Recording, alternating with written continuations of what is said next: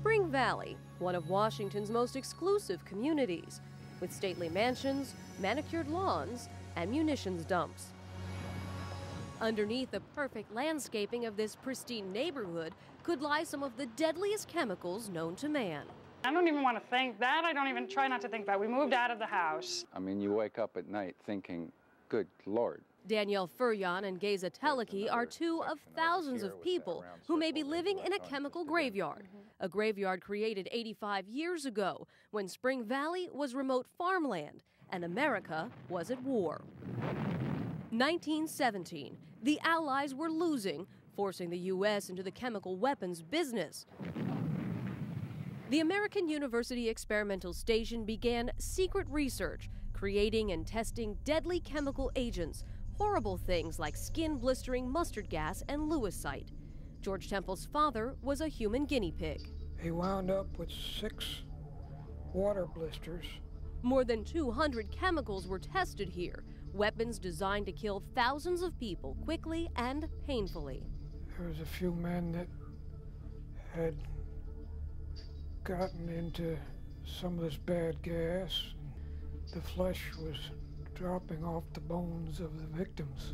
It's no wonder soldiers named the area Death Valley, as they disposed of unwanted weapons by burying them.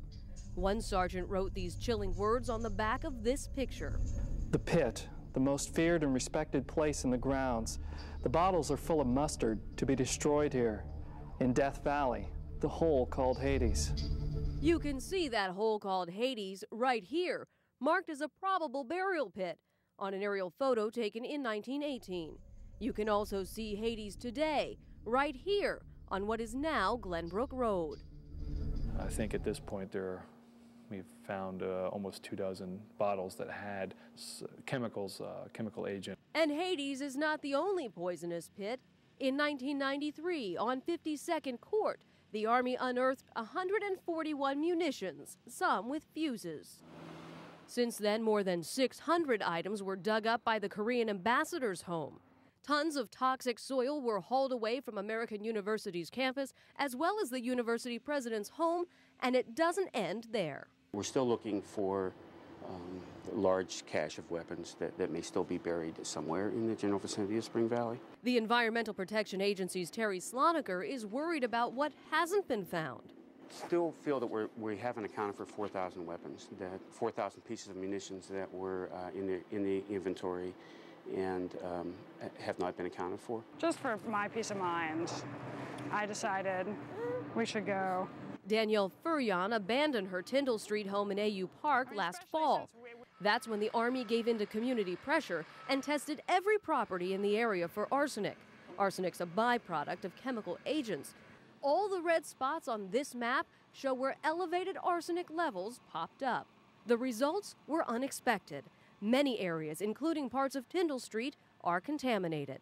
I mean, as soon as I found out, I just said, come and dig my yard out. And I have these two kids, and so I just said, come on and do it as fast as you can. No one bothered to check here before because the Army thought these buildings were just barracks. I can see where prior um, assumptions that we made, Uh, you know, have been proven either wrong or, you know, maybe we would make them differently now. Another property treated differently now is Geza Teleki's home on 48th Street.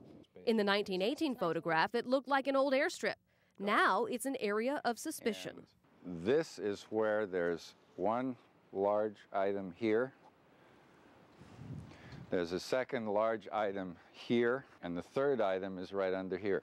Terry Slonecker has spent a decade analyzing photographs of the zone. He believes the worst may be yet to come, and it could be hidden under another suspicious area, Sedgwick Street.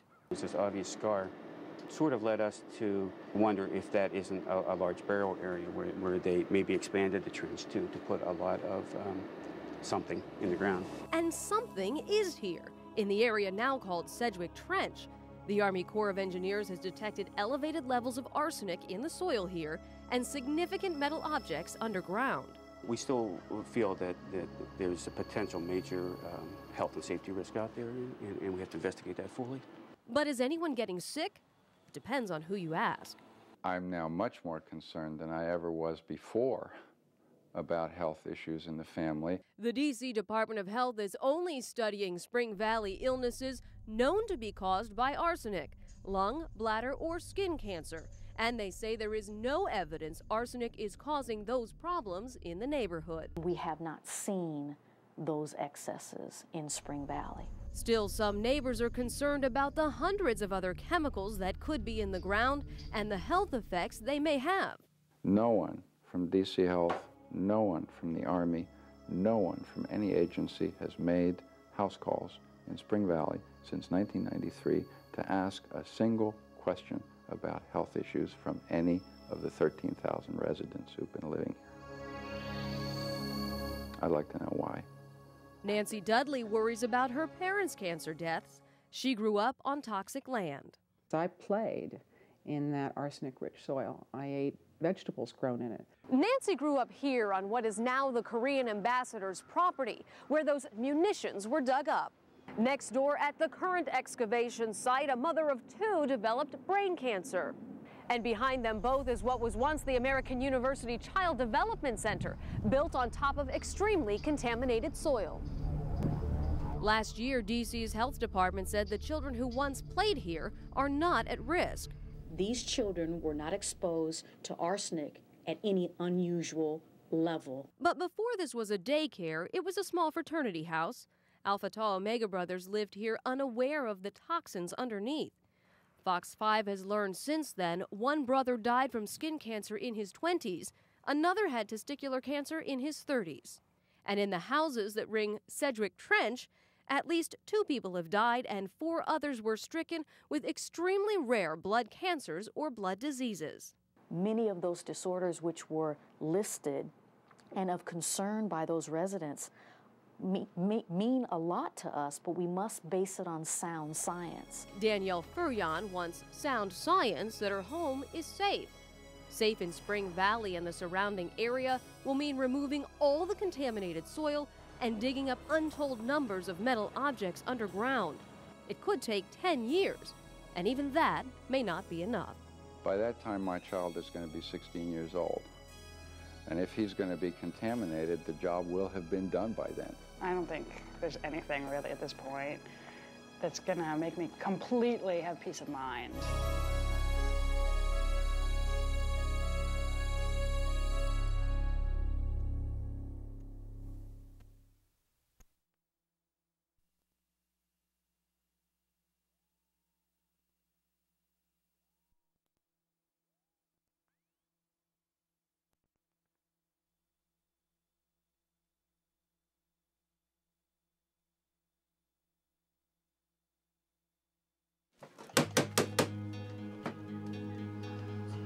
Painful to breathe, it's painful to cough. Nancy Hanger's childhood was shadowed by illnesses. That's caused a lot of problems. It's, it's really changed my life. She suffers from lupus, kidney and stomach disease, and pernicious anemia, a disorder that prevents your body from making enough red blood cells. Only one in 10,000 people have it. I got considerably weak quickly. Camille Som understands the pain of pernicious anemia. She too is suffering from it. My father had to carry me to the doctors, and at that time I had my first blood transfusion. And my sister has told me since that, Camille, when you left that day, I never thought you would be coming home again. These women have something else in common. They grew up in the same neighborhood, DC's Spring Valley. What do you think about the people that are living there today? I'm very terrified for them. Terrified because of what may lie beneath the neighborhood. These homes on Sedgwick Street are built over an old Army trench, one of several sites where chemical weapons were tested and possibly buried during World War I. Some say those chemicals are making people sick. I spent hours and hours and hours playing there. Nancy Hanger found out about her neighborhood's infamous past when she came across the Army Corps' website. She discovered the grounds where she grew up are contaminated with extremely high levels of arsenic. Arsenic's a leftover of those chemical weapons created long ago. Nancy's doctor believes arsenic caused her health problems. I said, What do you think? Could it be arsenic? Could I have been poisoned as a child? He goes, Oh my God, That's it. It's the smoking gun. Nancy and Camille aren't the only ones getting sick. My concern is all the people that had been living there. That's what I want to come out. This is Camille's childhood home, overlapping the Sedgwick Trench. It's where she developed pernicious anemia, and her sister got bladder, thyroid, and skin problems. Her neighbors suffered far worse. Three men around the trench died from multiple myeloma, a blood cancer that strikes only 1 in 25,000 people. An elderly man and a little girl died from aplastic anemia, a disease so rare fewer than a thousand Americans each year are diagnosed with it. Those two people who were not related lived in the same house, but years apart. Add to that this recent report linking aplastic anemia to arsenic exposure, and residents like Geza Teleki are wondering about the diseases appearing on their blocks. I'm right on this X here, the old airstrip. I'm now much more concerned than I ever was before about health issues in the family. Attorney Richard Lewis represents Camille Somm. Clearly, there has been a public health hazard in this community.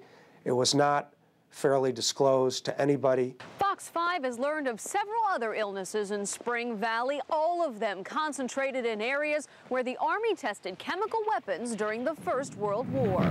Leukemias, autoimmune disorders, stomach, lung, breast, and brain cancers, anemias, blood disorders, and non Hodgkin's lymphomas.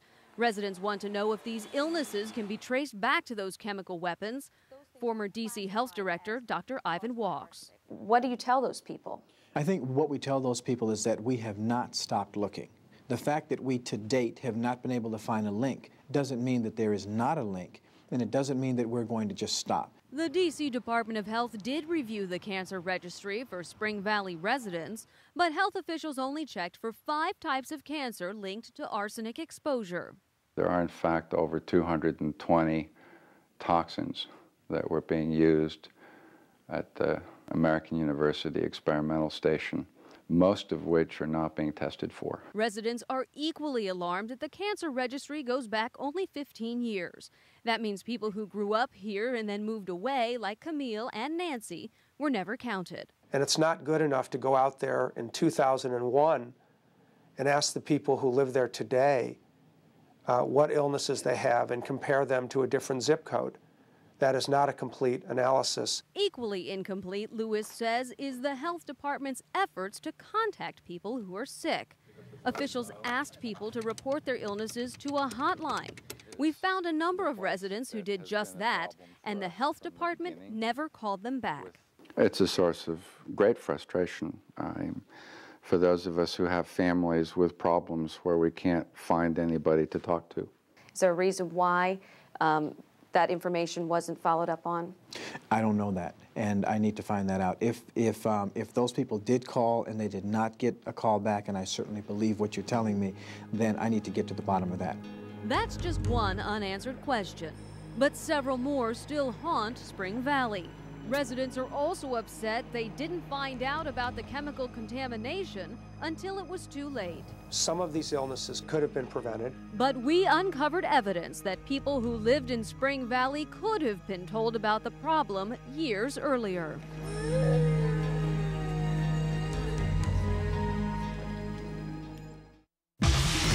Up next. They knew and didn't tell anybody. Fox 5 uncovers mistakes, missteps, and a code of silence. Do you think that they were trying to hide something? Absolutely. Straight ahead, a controversial deal, a possible cover up, and the investigation into buried secrets when Fox 5 News at 10 continues.